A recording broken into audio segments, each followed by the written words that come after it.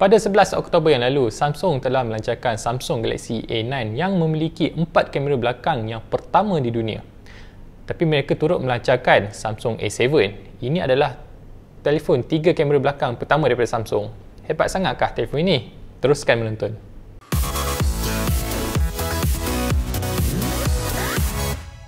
Pertama sekali, Samsung Galaxy A7 ini memiliki paparan sebesar 6 inci dan ia menggunakan panel paparan Super AMOLED dengan resolusi HD penuh.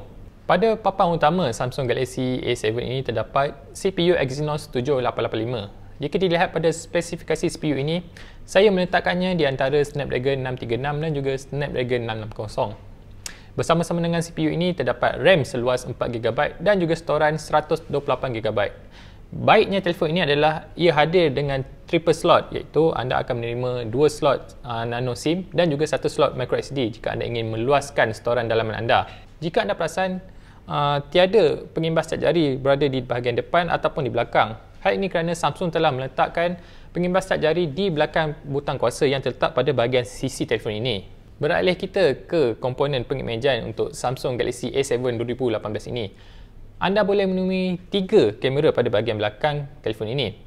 Kamera utama adalah kamera 24 megapixel, kamera kedua adalah kamera wide angle 8 megapixel dan kamera ketiga kamera 5 megapixel yang digunakan untuk mengukur kedalaman medan. Untuk selfie, anda boleh menggunakan kamera 24 megapixel.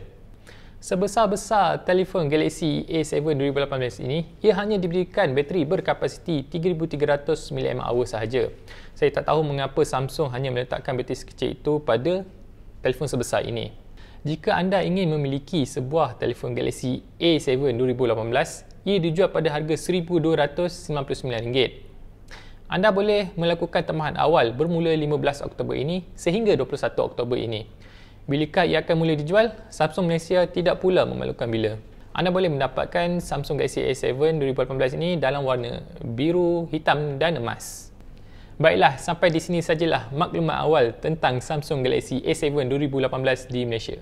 Jika anda menyukai video ini, sila tekan butang like dan jika tidak, sila turunkan cadangan anda di bawah. Sehingga kita bertemu lagi dalam video yang akan datang. Bye!